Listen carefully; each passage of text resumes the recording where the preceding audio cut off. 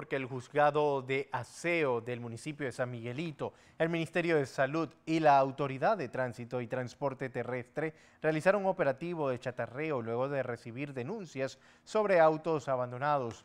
Algunas personas de la comunidad denunciaron que obstaculizan el paso de los transeúntes y podrían estar contribuyendo con criaderos de mosquito. Las autoridades locales llegaron al sitio para hacer el primer paso, que es etiquetar y multar luego de no recibir respuestas de sus dueños. Al cabo de cinco días hábiles, la autoridad del tránsito procederá a llevarlos a un corral en grúa. Nos encontramos en Ufaria, sector, la 20 de diciembre, producto de un patrullaje de nuestro alcalde Torre Carrasquilla y denuncia de moradores, nos hicimos acompañar de la autoridad del tránsito y el Ministerio de Salud.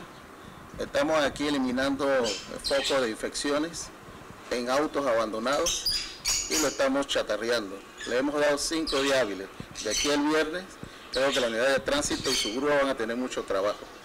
Aquí estamos trabajando para cumplir el dictamen y la salud del distrito. Un trabajo institucional, interinstitucional que hemos podido lograr para así ejecutar el mandato principal que nos da la Constitución de bailar por la salud y la salubridad del pueblo. Y así seguimos avanzando en otras áreas del distrito de San Miguelito, obedeciendo a diferentes denuncias con, este, con esta problemática, por un San Miguelito más limpio y más sano.